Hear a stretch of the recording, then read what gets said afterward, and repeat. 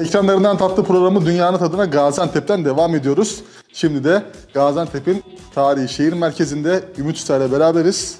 Ümit Usta Gaziantep'in meşhur katmercisi ama bugün bize katmer değil, bomba yapacak. Evet Antep bombası yapacağız. Öncelikle hoş geldiniz Yasin Bey. Biz Antep'in orijinal kahvaltısı olan kahvaltılık ürünlerini belirtmek için çünkü katmer de bir kahvaltıdır. Ama bugün size yapacağımız ürün Antep'in bombasıdır. Hadi damaklarımızı patlasın bu bomba. Malzemeleri neler? Önce bir malzemeleri sayalım. Orijinal keçi peyniri. Gıcır gıcır etmeli ağzında derler Antep uşakları. Antep peyniri, keçi peyniri. Keçi peyniri gıcır gıcır etmeli. İşte gıcı gıcı ediyor. Aynen gıcır gıcır etmeli çünkü yağlı olmalı bu. Tuz, Fıstığımız tuzu değil. Tuzlu değil, hayır. Tuzsuz peynir. Tuzsuz, orijinal sıkma peynir olacak. Kesme peyniri de var, sıkma peyniri de var ama biz genelde sıkma kullanırız. Daha yağ oranı daha yüksek olur. Diğer kullandığımız ürünler fıstığımız, sade yağımız. Keze sade yağ biliyorsunuz tereyağının özüdür. Zeytinyağımız, toz şekerimiz Ve hamurumuz. ve hamurumuz. Hamurda ne var? Hamur, un, su, tuzdan oluşan Mayasız normal- ekmek hamuru. Mayasız, normal bildiğimiz ev ekmeklik hamurumuzla birebir aynı olan bir hamurumuz. Hem katmer için kullanırız hem börek için.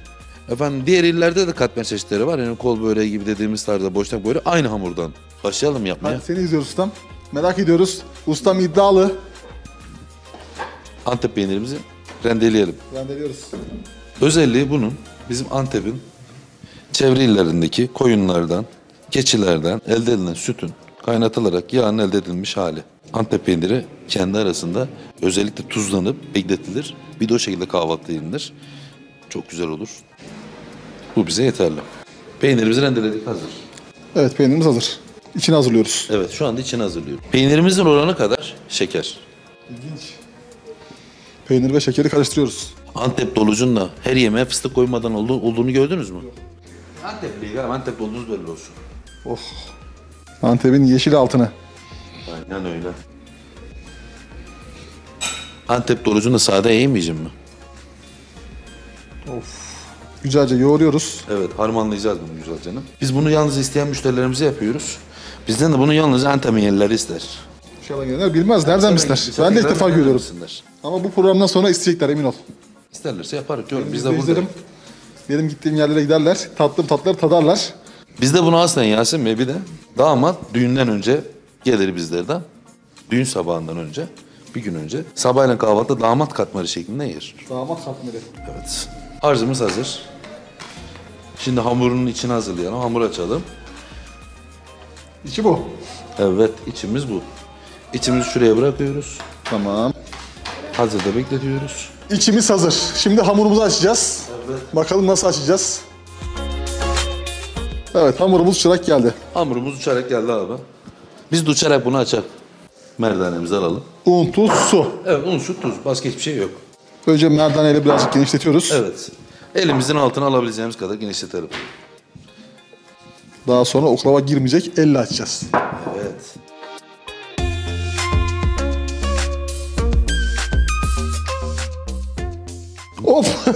Ustam. Aman. Ustam yavaş yırtılacak hamur. Yer çekimine meydan okuyan katmer ustası Ümit Usta. Ustam bu bomba elimize patlamasın. Yok abi yok. patlamaz.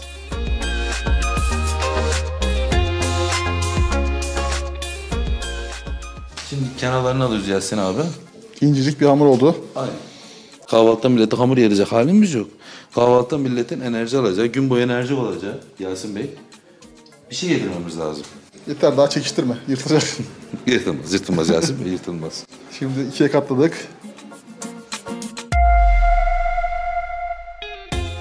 Şimdi şu anda herhangi bir yağ yok Yasin Bey gördüğünüz gibi. Burası gayet mat. Buraya evde eğer mümkünse varsa tereyağı kullansınlar. Çünkü biz sade yağ kullanıyoruz. Ağırlığımız sade yağ. Hazır ifkal olur mu onu söylüyorsun. Hazır yufkayla da olur bu. Bu yaptığım şey evde hazır yufkayla. Baklavalık yufkayla. Evet baklava yufkayla çift kat yaparak orada da olabilir. Tamam. Şimdi biz burada bunu yapmamızın amacı bu bizim kahvaltımızdır. Bunu çayla beraber, sütle beraber tükettikleri zaman gün boyu kendilerini kışın günleri özellikle enerjik tutuyor. Şimdi yağlıyoruz. Evet. Şimdi biz hamurumuzu Sade yağla yağladık. Evet, sade yağla Siz denerseniz tereyağlı yapabilirsiniz yağlama işlemini. Aynen. Kaymak gibi hazırladığımız harcımız zaten burada duruyor. Gördüğünüz gibi. Fıstık, peynir ve şeker karışımı. Fıstık, peynir ve şeker karışımı. Genelde bu servis edilirken Daha öncelerden bahsedeyim size. Doğranarak servis edilmezdi. Dürüm edilerek servis edilir bu. Yani fırından çıktıktan sonra 2-3 dakika soğutulur. Kağıda ucu çıkartılır. Dürüm edilerek servis edilen bir üründür. Size de o şekilde servis edeceğiz. Geleneksel usul neyse öyle yiyeceğiz. Geleneksel usul neyse o şekilde servis edeceğiz.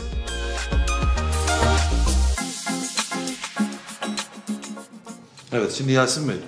Aynı katmer gibi, kuşağı gibi paketliyoruz. Biraz daha ufak, biraz daha kalın düşürüp Kara şekilde. evet. Bohça gibi kapattık. bitiriyoruz. Makyajını yapıp Tekrar yağladık. evet fırına göndereceğiz. Kağıdımızı aldık. Aynen. Yağlı kağıdımızı üzerine koyuyoruz ve fırında pişiriyoruz. Evet.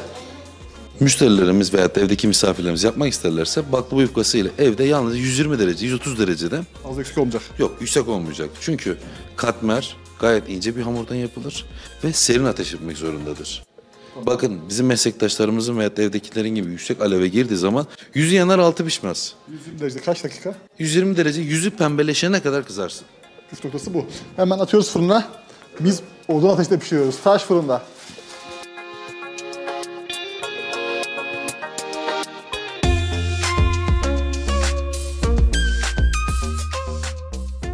Antep bombamız fırından çıktı. Patlamaya hazır. Evet patlamaya hazır. Bu şekilde çıkıyor. Peynirin havasıyla beraber, şekerin erimesiyle beraber bu şekilde kabarır, balon gibi olur. Şeker İşte bu içinde yüzden adı erir. bomba. Evet bu şekilde bu yüzden adı- zaten Antep bombası adı. Şimdi size bunu dürüm edeceğim.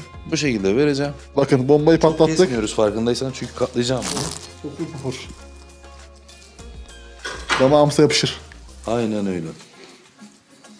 Oo.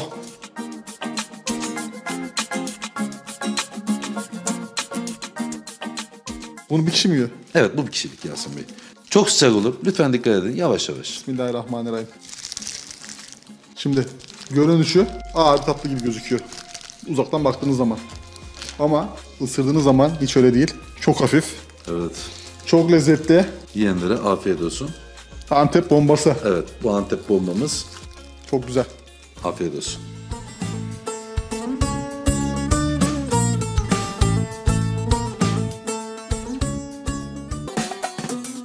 Ekranlarından tatlı programı Dünyanın Tadına Gaziantep'ten devam ediyoruz. Şimdi de Gaziantep'in çok lezzetli bir böreğini yapacağız. Evet. Zeytinli kuşbaşılı börek ve Tarhunlu Antep peynirli börek. Tarhun var içerisinde abi. Onur Usta beni şaşırtmaya devam ediyor Gaziantep'te. İlk defa zeytinli kuşbaşılı ve tarhunlu peynirli börek yiyeceğim. Evet. Şimdi seni yoğun bakıma alacağız yeniden. Tamam. Evet hemen başlayalım Hamurlar önceden yoğrulmuş. Un, tuz, su ve mayadan oluşan ekmek hamuru. Evet, evet ekmek hamuru. Şimdi hafif içerisine ilk önce zeytinlimizden başlayalım. Tadımlık zaten bu. Yani küçük ikramlık tarzında. Sonrasında kapatıyoruz. Şimdi bu hazır. Küçük bu olur. İsterseniz bunu büyük de yapabilirsiniz. Tamam. Yani küçük de o sizin zevkinize bağlı. Biz daha çok tadımlık olsun diye en azından az az yapıyoruz. Şimdi Antep peynirinin mesela içerisini hazırladığımızda Antep peynirini yine böyle küçük küçük doğruyoruz. Tamam. İçerisinde tarhun dediğimiz özel bir şey var, bitki var. Ondan katıyoruz. Yine içerisine küçük küçük doğranmış al biber, taze soğan ve maydanoz. İçerisine hafif bir tuz atarız. Bu kendi rehasını kendisi veriyor evet. Bu şekilde oluyor zaten. Şimdi hamurumuzu yeniden ince ince açalım. İncecik bir zar gibi hamur oldu. Sonrasında bu karışımı alıyoruz. İçerisine koyuyoruz. Sonrasında kapatıyoruz. Bu da küçük bir gramlığımız oldu. Şimdi bunlar hazır. Buna birkaç tane daha yapıp fırına vereceğiz abi taş fırına. Sonra çıtır çıtır bütün rehaları alacaksın. Birkaç tane de yapalım olsa iki tane Evet. evet. doyurmaz biliyorsun. Tamam, evet. Şimdi zeytinliğinin için hazırlıyoruz. Hamurumuzu ince ince açalım. Un, tuz, su ve mayadan oluşan ekmek hamuru. Ekmek hamuru. Şimdi zeytinimizi burada gördüğünüz hali hazırda. Küçük küçük zeytinlerimiz hazır. Bu Antep'in kendi Çekirdekler zeytini evet. Çekirdekleri alınmış. İçerisine küçük küçük kuşbaşılar koyuyoruz. Sonrasında hafif ceviz. Sonrasında maydanoz, taze soğan ve al biber. İçerisinde istediğiniz kadar acı veya tuzu oranını siz kendiniz ayarlayabilirsiniz ama bizimkiler biraz acı oluyor. Daha lezzetli, daha rehalı olması için. Şimdi zeytinliğimizi koyalım. Kuşbaşımız zeytinli içten koyuyoruz. Küçük küçük kuşbaşılar içinde zaten. Un koyduk. Evet. Şimdi kapatıyoruz. Kenarlarını bastırıyoruz. Evet, zeytinimiz hazır. Bu şekilde götürüp fırında pişireceğiz. Şimdi fırına gidebiliriz abi. Hadi hemen götür fırına atalım. Sonra afiyet tadına bakalım.